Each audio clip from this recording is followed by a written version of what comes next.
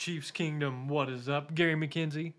Another episode of Gridiron Lines, a bye week special. So I wanted to take some time to just sit back and look at where the Chiefs stand in the AFC and talk about their chances of making a push for the number one seed as well as their odds for winning the Super Bowl and what other teams are out there to challenge Kansas City for that number one spot. Now more than ever, that number one spot is super important because only one team gets a bye week in the NFL playoffs, and it's that number one seed because we currently have seven teams making the playoffs. So once again, I took an assignment and did some back page scribbles, and so I've just got a bunch of information to share with you all. And we're going to start with the current AFC standings. So the, the Chiefs are currently number one in the AFC playoff standings with a record of seven and two. Baltimore also has a record of seven and two. They're the number two seed. The reason they're the number two seed is because they've lost to two AFC teams, whereas the Chiefs lost to the Lions, an NFC team, and the Broncos, an AFC team. So they've got the tiebreaker. Coming in third are the Jacksonville Jaguars. Fourth, Miami Dolphins. Fifth, the Pittsburgh Steelers have that five spot. The first available wild card spot. The Cleveland Browns are number six at five and three, and the Bengals are taking that last spot, also having a five and three record. So the Bengals got off to a late start for the season. Uh, when the season began, Joe Burrow's calf caused them a lot of problems, and I don't think the Bengals will finish in that last playoff spot. I think they'll work their way up and will challenge um, you know, for that number five spot and maybe even give Baltimore a run for their money. So, as of now, regarding the Super Bowl, do you know who the favorites are, according to Vegas, to win the Super Bowl? That team is the Chiefs. They have plus 500 odds to win the Super Bowl. The next closest team are the Philadelphia Eagles, who they will see after the bye week at plus 525. And then you go down the line, most of most of the other teams who are closest to the Chiefs have twice as much uh, or twice as worse chances of making the or winning the Super Bowl. The only other team that's in the hunt with Philadelphia and Kansas City is San Francisco. So those those are your three top teams according to Vegas: Kansas City, Philadelphia, San Francisco. Baltimore is the next closest team at plus 900, so almost twice as much as the Chiefs. And then the third place teams, uh, according to Vegas, with the best odds to win the Super Bowl in the AFC are the Dolphins at 11 at plus 1100 and the Bengals at plus 1100. So currently, the Chiefs are number 12 in terms of points scored offensively. They are number 7 in yards yards gained offensively. They're number 2 in points for points for defensively. So defensively they're doing very well. And number 4 in yards defensively. So the Chiefs defense has been the identity of this team so far throughout the season, and their SRS numbers bear this out. So the SRS score is a matrix math calculation used comparing it's calculated by comparing all other teams' outputs versus each other. So if there's a team that has a high points per game allowed average and the the team that faces them scores well below that, then their offensive ranking will drop. If they play a team that has a low points per game allowed average and they score a lot of points against that team, then that number will go up. So right now, the Chiefs' offense using that matrix calculation, which is honestly one of my favorite ways to evaluate teams, uh, the Chiefs rank number 21 offensively. So a lot of you have been complaining about the Chiefs' offense, and I think that those complaints are valid. And right now, Vegas is betting on the Chiefs to try to, or the Chiefs to kind of turn that around. Defensively, they're number two, according to SRS score. And in terms of point differential, they're ranked number five. If you remember the years that the Chiefs won the Super Bowl in 2019 and 2022, in 2019, they had the number three offense according to SRS score, the number seven defense according to SRS score, and the number four point differential. In 2022, they had the number two offense, the number 19 defense, and the number four point differential. I went through and I calculated a bunch of numbers in the passing era for Super Bowl winners, and since 1999. So I believe that the greatest show on turf with Kurt, Warner started a new era in NFL football, which I will define, which I have defined as the passing era. I don't know if anyone else has called it this. This is kind of something that I've coined just from being a stats nerd and kind of observing the game of football from a historical perspective. But I think since 1999 and to present, this is the passing era era of the NFL. And I think that Patrick Mahomes in the late 2010s may have taken that to the next level and kind of created what I also have called the hyper passing era. But right now, we're just going to look at since 1999 in the passing era. And right now, you might be wondering okay, well, how have Super Bowl winning teams done in terms of offense and defense? And you might think that they needed to have both a top five offense and a top, top, top five defense. Well, I crunched the numbers, and that's simply not the case. Of the 24 teams that have won the Super Bowl since 1999, only 17% of them, so one in six, had a top five offense and a top five defense. 50% of them just had a top five defense, and 63% of them just had a top five point differential.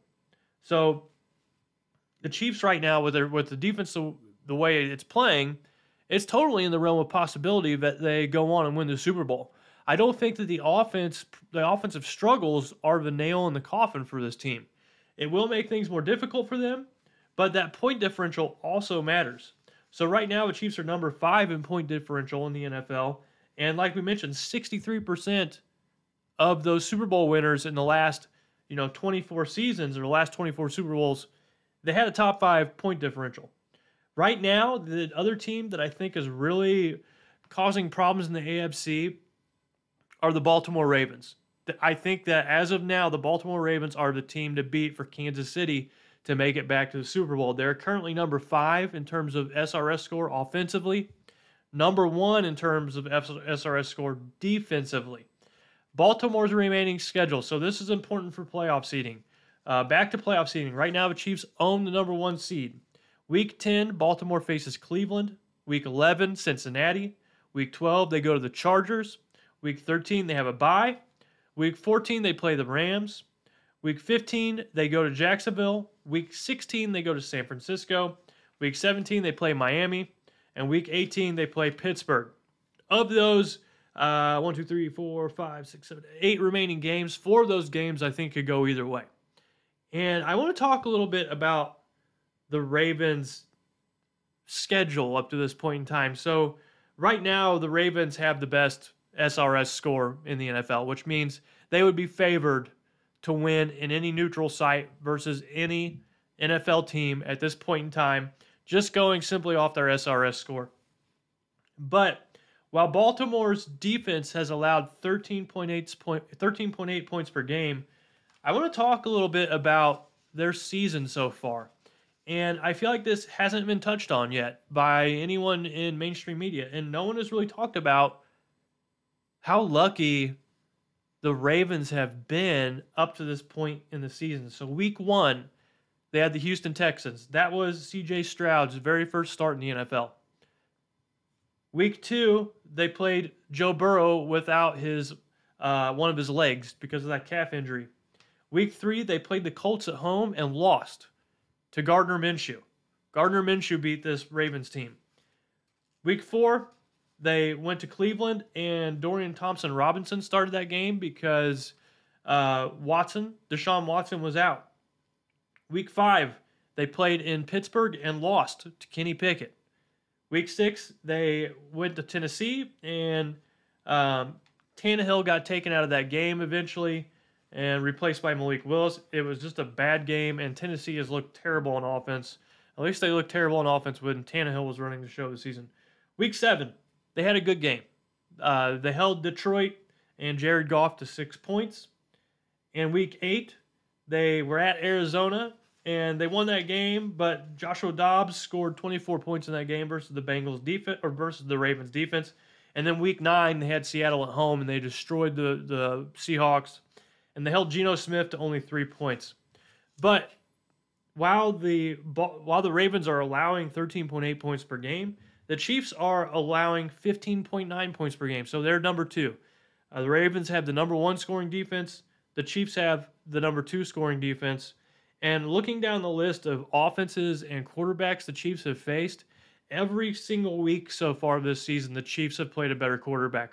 Week one, uh, while Baltimore had Stroud, the Chiefs had to face Jared Goff. Chiefs played the better quarterback. Week two, the Bengals had an injured Joe Burrow. The Chiefs played Trevor Lawrence. Chiefs faced the better quarterback. Week three, the Ravens lost to the Gardner Minshew Colts. Week three, the Chiefs played Justin Fields. And I think that one might be a wash, but it, honestly, Justin still has, or Fields still has a starting role. So I'm actually going to take uh, Fields in this case. Week four, Cleveland had DT, or the Ravens played Cleveland. They had DTR. Week four, the Chiefs played Zach Wilson, who played the game of his life. And that one, you can have some argument saying that DTR is better than Wilson, but I don't think that to be the case. So once again, the Chiefs, four weeks in a row, played a better quarterback than the Ravens. Week five, the Ravens saw Kenny Pickett, and the Chiefs saw Kirk Cousins in week five. Week six, ten, uh, the Ravens saw Tannehill. Week six, the Chiefs saw Russell Wilson. Week seven, the Ravens saw Jared Goff. Week seven, the Chiefs saw Justin Herbert. Week eight, Joshua Dobbs for the Ravens. Russell Wilson again for the Chiefs. And then week nine, uh, the Ravens saw Geno Smith, while the Chiefs saw Tua Tagovailoa. And every single game so far this season, the Chiefs have played a better offense than the Ravens have had to face. Yet no one is talking about this schedule of teams and quarterbacks the Ravens have played. And while, yes, they are doing the job defensively and offensively, I think that the Chiefs' defensive mark so far this year, even though they're giving up 2.1 more points per game, I think that what the Chiefs' defense has done is more impressive than what the Ravens have done defensively so far this season. So, out of the four teams in the AFC playoff picture, I think that the Chiefs, the Ravens, the Jaguars, and the Bengals all realistically have a shot at that number one spot. I think that at the end of the um, regular season, those will be the four best teams. Jacksonville has three questionable games where they might lose out of a remaining nine. So they have a lot of room where they could catch up some ground. And if you remember, they're pretty much undefeated versus every team that isn't the Kansas City Chiefs. So they could really make a push for that number one spot as well. Their questionable games are versus San Francisco, Cincinnati, and Baltimore. And then Cincinnati, they have their work cut out for them. They'll have to finish the season strong, and they have four questionable games out of their last nine uh, versus Baltimore, Jacksonville, and they have a game at Pittsburgh, which is never easy for them. And then they also play the Chiefs. The Chiefs' most difficult games so far the remainder of the season are Week 11 versus Philadelphia, Week 14 versus Buffalo, Week 17 versus Cincinnati. All three of those games are at home, and then Week 18 versus the Chargers at LA, which is always a difficult game for the Chiefs. But as of now, looking at all this information, the Chiefs are favored to win the Super Bowl. They're the top team. They have the best odds to win the Super Bowl. The Chiefs currently have the number one seed. All four of the remaining teams do have challenging games. The Chiefs have a essentially a two-game lead over Jacksonville because they beat them in a head-to-head matchup. And then versus Cincinnati, they'll see them later on in the year. They don't play Baltimore at all. But as far as the regular season goes, even though the Chiefs' offense has been struggling, this team still has a straight shot to the number one seed. I think they have the best chance to land the number one seed. The remaining challenging games are at home. And so this should be a team that finishes 13 and 4 or perhaps 14 and 3. Uh, and we'll see how the season goes. But the Chiefs also have the tiebreaker over the Dolphins. So they've beat two of the top four teams in the AFC so far this year. And that's why or how you get to that number one spot. My question for you all is do you like that plus do you like those plus plus 500 odds for the Chiefs to win the Super Bowl? Do you think they should be the favorite? Do you think that the Chiefs offense is going to be the nail in the coffin? Do you think that they're currently ranked number 21? Do you think that's where they should be, or do you think they'll finish the finish the season much better than that? I think that this offense is going to turn things around and do much better than that 20, number 21 ranking. I, I honestly can't see a Patrick Mahomes led offense finishing in the bottom half of the league. The defense needs to keep doing what they're doing.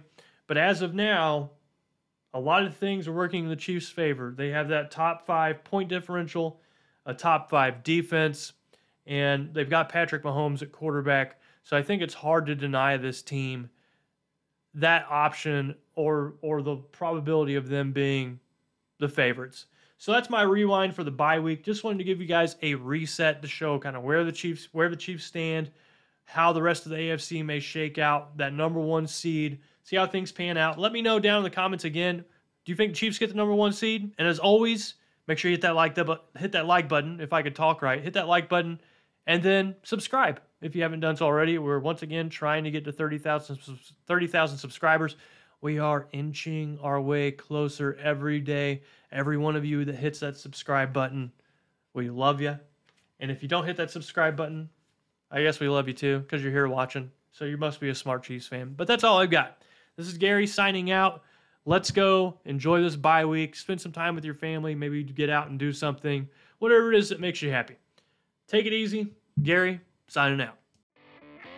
Thanks for watching this video from the team at RGR Football. Click these videos to see more and subscribe to RGR Football.